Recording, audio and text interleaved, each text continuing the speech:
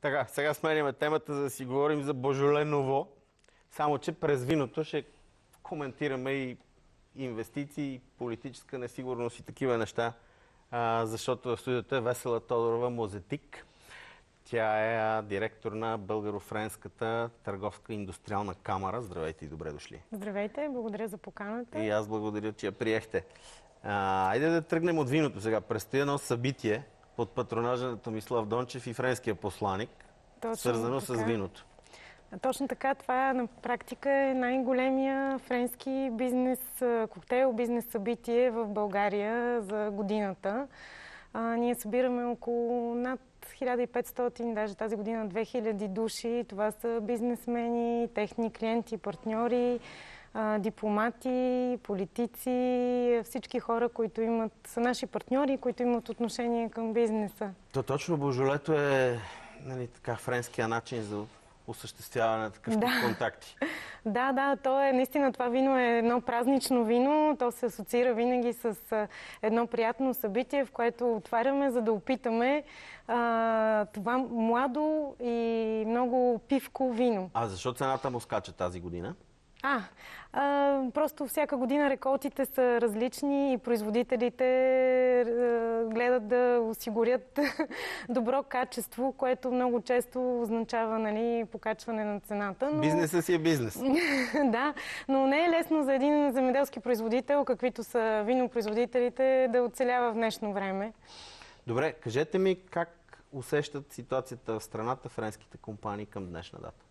А, ние имаме тук в България около 200 френски компании, които голяма част от тях са в много сериозни сектори. Нали, знаете, индустрия, финансови услуги, застраховане и а, тези, които са установени в България от а, няколко години или от малко повече, 15-20 години, са доволни от своите инвестиции, не са напуснали страната ни в момент на криза, когато беше трудно в периода 2009 година, 2012.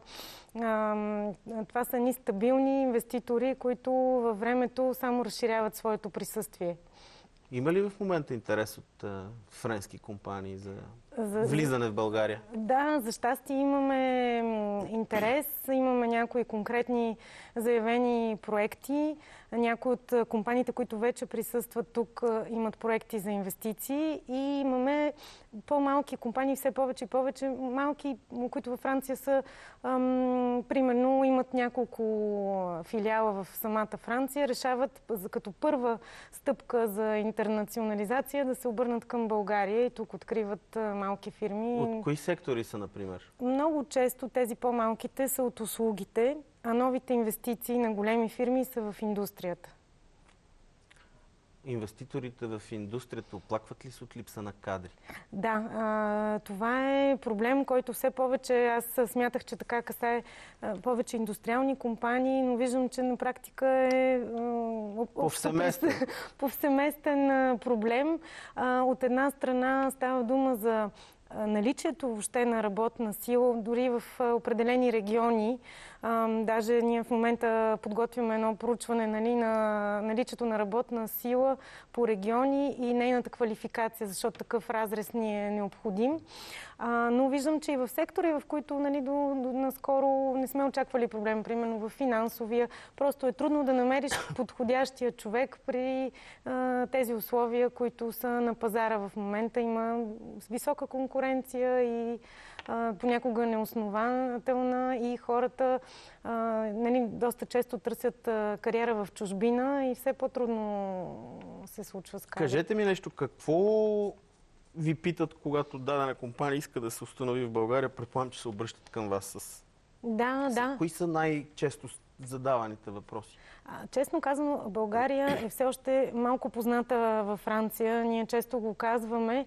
А, стараем се да работим в тази посока. Много често първо ни питат основни неща за страната. Например? А, включително това, че тя е член на Европейския съюз, не винаги е познато за основните и характеристики, каква е индустрията, какви индустриални компании присъстват тук. Това е като критерий служи за подбор, нали, за да се прецени една да. държава доколко е развита.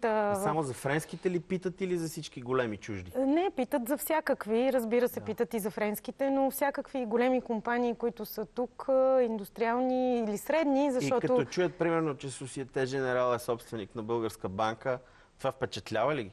А, Помага ли? Не, Societe Generale тук има филиал, нали? Така ли? Да, а, всяка банка избира, нали, Филиал, да... филиал. Те влезнаха като купиха една банка. Да, да, да, Да. така е, така е. А, в общи линии, вся, всяка една а, фирма, която е в България от доста време е изключително добър пример. Те са ни като... А, те служат сами за реклама на, на страната ни. България дори е не е необходимо да прави реклама, ако има добри инвеститори, достатъчно е То да ги само- покаже. само по себе да покаже говори кой този е факт. тук. Да, и това е предостатъчно. Точно затова ние се стараем да задържим компаниите, да могат да се развиват, да, им, да ги подпомагаме тези, които са тук, а новите нали, да ги привлечем с най-хубавото, което България може да даде, което е от една страна качеството, качеството все пак на работната сила, Да. а, която много често говори различни езици, което е ценно. Впечатлява ли ги? За работната сила е ясно, демографска криза и така нататък, но Да. има и хора с езици все още. Да, да. А, впечатлява ли ги ниска цена на труд и 10% корпоративен данък? Да, това са определено предимства в, за всеки един економически субект. Наистина, честно казано, ниския данък е много важен, но не е първия фактор, що се отнася Не е до индустриалните компании.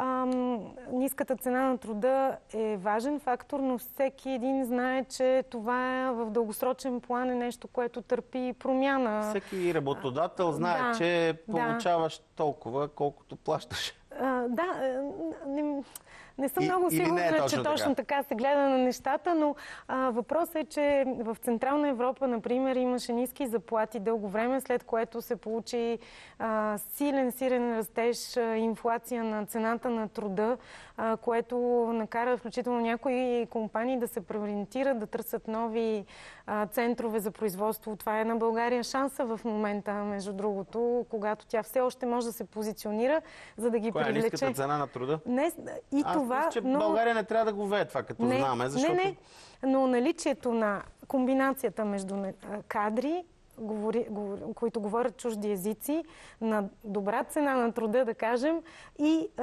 наличието на поддоставчици на мрежа от местни компании, които имат а, капацитета и зрелостта да могат да доставят, евентуално да работят с инвеститорите. Това е от първостепенно значение и шанс и за нашите компании, които имат опит нали, в много индустриални сектори, особено в металообработването, в дори земеделието би могло да се развие, но на този етап почти нямаме инвестиции в този сектор. Добре, кажете ми към днешна дата в цялата тая, как да кажем, несигурна политическа обстановка, а, притеснени ли са френските компании?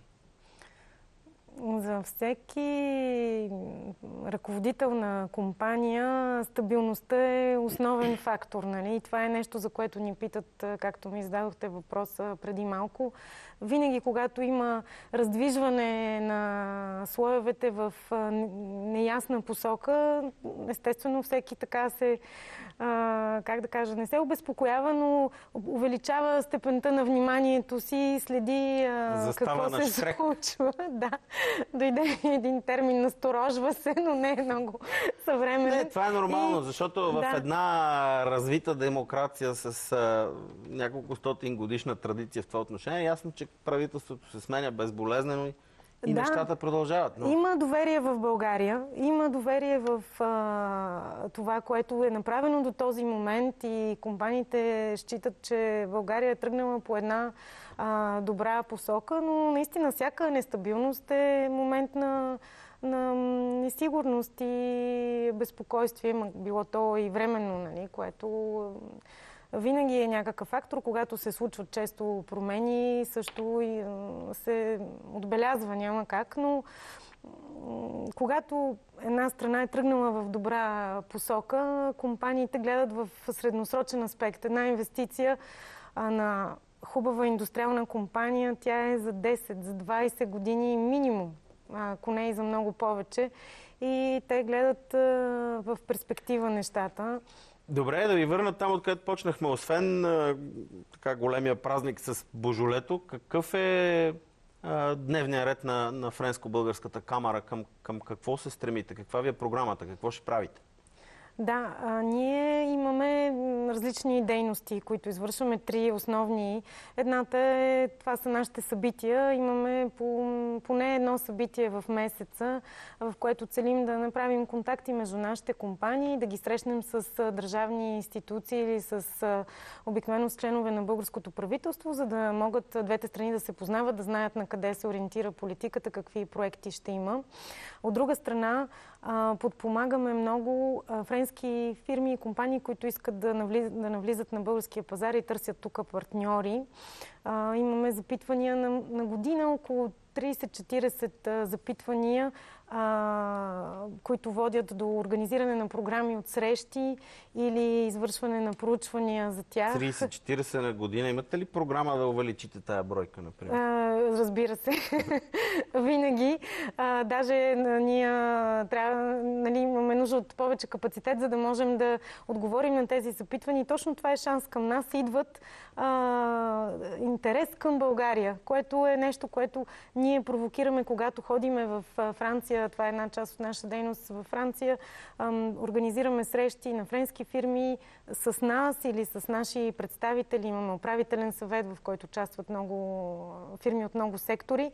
И говорим за България, говорим за нашата страна, за да може френските фирми да се заинтересуват и след това ги придружаваме тук на място, което е основно, нали, да им покажем през призмата френската, с, наше, с наша интерпретация каква е нашата страна и как тук може да се прави добър бизнес. Ами, добре, дано да имате много такива заявки, така да го кажем. Да и се аз отвоят, се надявам. Да не вземе нещо да се обърка само. За сега да се надяваме, само... че всичко ще е наред. Интересът с... е само нарастващ. Да. Нали? Това е благодарение на нашите усилия, на усилията на българските правителства. Много добре работим. Правихме една среща в Франция миналата тази година, през юни, по повод посещението на на Росен Плевнелиев, нашия президент, това беше много успешно. И всяка такава дейност е изключително успешна. Добре, дано да е така. Желая ви успех. Благодаря много. Весела Благодаря. Тодорова Мозетик от Българо-френската търговско-индустриална камера.